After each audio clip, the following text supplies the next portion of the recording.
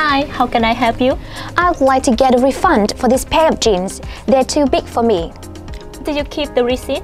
Unfortunately, no, I must have lost it.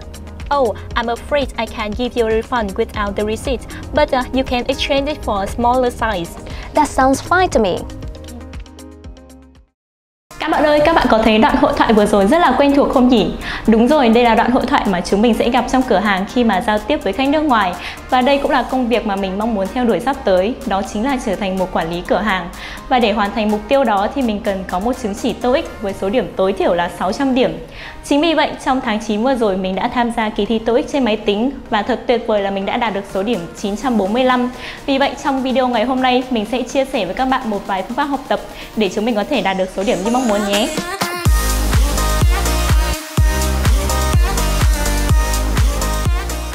Xin chào tất cả mọi người, mình tên là Nguyễn Hải My, hiện mình đang là sinh viên năm cuối tại Học viện Báo chí và Tuyên truyền và số điểm TOEIC mình đã đạt được chính là 945 điểm. Như mình đã chia sẻ thì chính là vì mình muốn đạt được mục tiêu công việc của mình. Mình biết là hiện nay có rất nhiều chứng chỉ tiếng Anh được sử dụng rộng rãi và rất phổ biến. Tuy nhiên mình thấy chứng chỉ TOEIC thì rất là thiết thực trong môi trường công sở. Qua việc học TOEIC thì mình có thể học được những từ vựng và mẫu câu thông dụng trong môi trường làm việc, ví dụ là trao đổi với cấp trên hoặc là trao đổi với khách hàng. Vì vậy theo mình thì việc học TOEIC là lựa chọn tối ưu.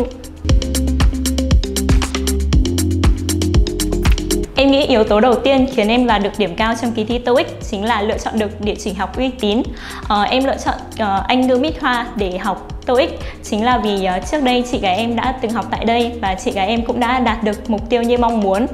Uh, bên cạnh đó em nghĩ uh, việc tiếp theo khiến em đạt được điểm cao chính là sự chăm chỉ trong quá trình học tập và ôn luyện và cuối cùng chính là sự tự tin và bình tĩnh khi làm bài thi ạ.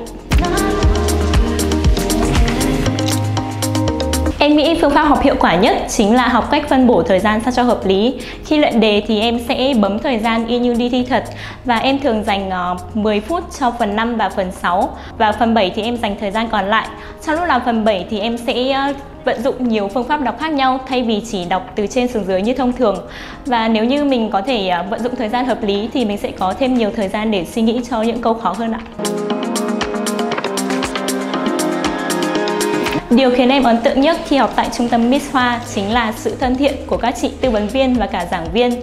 Ờ, ngay từ những buổi đầu đăng ký thì em đã được các chị tư vấn rất là tận tình và trong suốt quá trình học thì em đã có thể thoải mái trao đổi với giảng viên không chỉ trong việc học mà còn cả những câu chuyện khác trong cuộc sống ạ.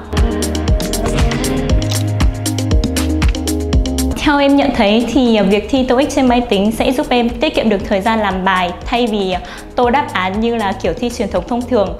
Tuy nhiên thì em nghĩ các bạn nên ờ, nghe, lưu ý kỹ từ các ờ, giám thị trong thi để mình có thể thao tác một cách chính xác nhất và có thể hoàn thành bài thi một cách suôn sẻ nhất ạ. chúc các bạn sẽ tìm được một phương pháp và lộ trình học phù hợp và chúc cho tất cả các bạn đều có thể đạt được mục tiêu mà mình mong muốn.